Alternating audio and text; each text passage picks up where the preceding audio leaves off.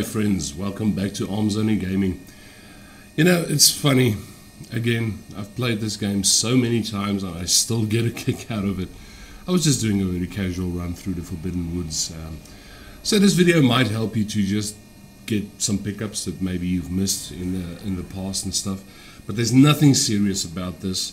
I'm going to do a two-part series of this. So this is part one of my, my casual run through uh, the Forbidden Woods. I mean, a lot of different enemies. Always good practice. Always good practice. Before I start taking on Stanley there, I'm just going to go and light the lantern. But like I said, there's nothing serious about this. It's only a little guide for maybe new Bloodborne players to, you know, just come and explore and see what they're letting themselves into if they play this. So, but yeah, I've said this so many times. Classic game, absolutely brilliant. It looks good it still plays well. And uh, yeah, I can't wait for uh, to see what it looks like on the PS5. I don't have a PS5 yet, but yeah, maybe someday, maybe someday.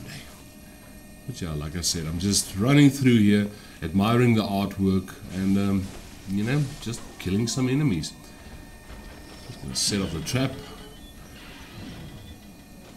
A lot of enemies in this place. There's dogs, there's Stanleys, there's a lot of I don't know, can we call them citizens? But yeah, those guys with the long arms. There's a lot of them. What I do like about the Forbidden Woods is the look of it. It looks, it kind of looks like a nightmare out of Tim Burton's mind or something. It looks so, it, you just get this feeling that it's so edgy and stuff. Okay, well the dog is going to come, uh, there he is. The poochie is going to come bite me. I'm going to just murder the thing. And the other one is basically burning himself to a crisp there. Yeah, be careful, you can walk into the fire. Okay, he didn't kill himself, but I'll take care of that. I'm sorry, Poochie. I'm, I'm an animal lover, but these Poochies, they, ah, they I'm just gonna draw these guys out. Take care of Mr. Surfboard here. You're not gonna get far on that surfboard, but that thing is a bit broken. Now that guy's chucking oil urns at me. I, remember the first time I played this game, I thought, why is he chucking shit at me? Because it looks like ball, balls of, of poo, but I only found out later that it's actually uh, oil urns. Which kind of makes sense. If they chuck oil urns at you and there's all this fire around, you can, yeah, you can get burned.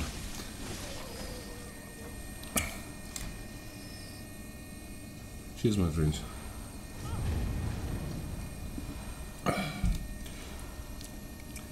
Coffee, black coffee and a smoke.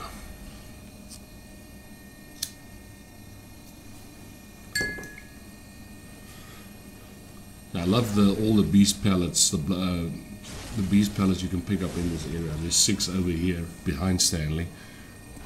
And there's another six, but we're, we're getting to that. Which I like using uh, this stuff. It really amps up your your character as you're playing. I can't remember what level this character was on. It was quite low. I think 100, maybe 120, maybe, I, I don't know. But yeah, I have so many different characters, so many different builds. I thought, oh well, I'm just gonna have a good run through um, the Forbidden Woods. And be, be attacked by some farmers with some huge ass pitch, pitchforks. Okay, bugger up there. Okay, gonna go get the. Gonna go get my beast blood pellets. Stock up on it. You can buy beast blood pellets from the messengers in the hunter's dream, but I mean, if you can pick them up for free, why not? You know, that's. Everything is so dilapidated and broken down. Okay, Stanley is. Yeah. yeah. Hello, Stanley. How about a visceral for your troubles? Take that. Mm. Will rip your heart out. I only realize now this is one of my female characters. You better take it easy on the ladies over there, eh? Do not hit the lady. She'll murder you.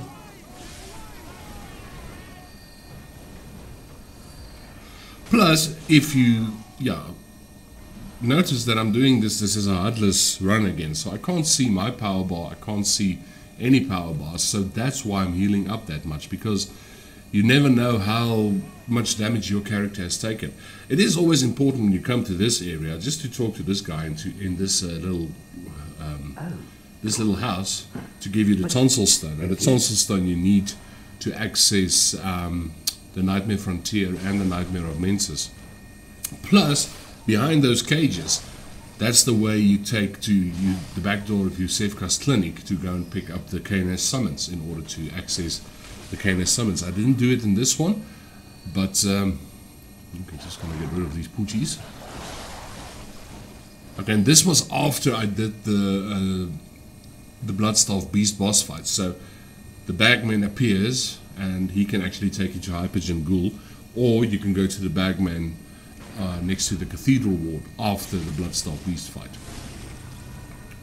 I thought I got him there, but he's still kicking. He's still alive and kicking. Oh, some blood vials and stuff. There is actually a Beast Roar weapon in this little cabin. I already have it on this character, so I didn't even go for it. Plus, when I get past these guys, there's a I think you can pick up about 11 Molotov cocktails on the ledge there. Those consumables are nice. I mean, if you have, if, if it's there, just pick it up. Hmm. Billy Bob and his cousin is attacking me here.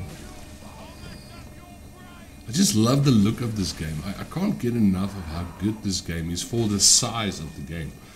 It's from Software did so good with this. Get rid of this guy. Oh, got burned there. The roof, the roof, the roof is on fire. Oh, here's my 11 Molotovs. I'm not going to kill these guys in the water. Just going to run past them.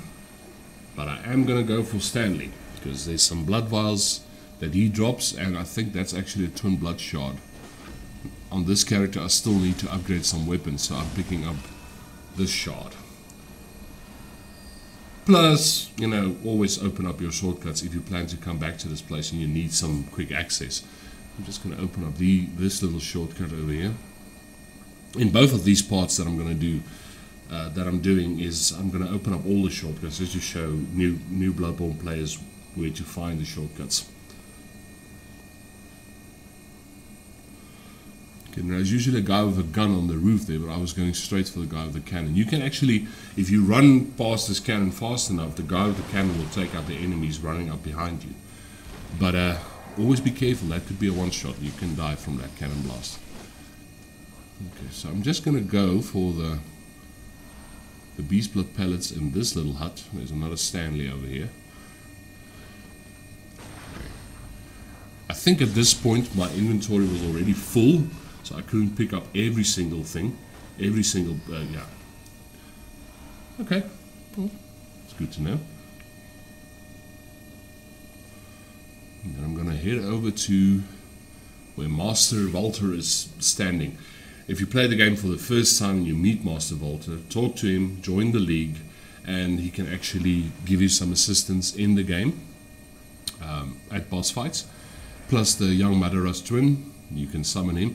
And the very important thing you need to remember is when you talk to Master Valtr, exhaust the, the conversation and um, pick up the impurity rune from him. You need to equip that in order for those two guys to come and help you in different stages of the game.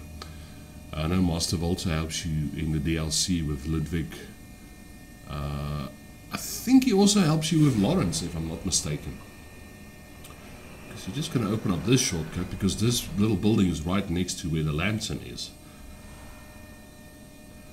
But I will see you in part two, my friends, because this is only part one. So stay tuned. Thank you for watching. I'll see you in part two.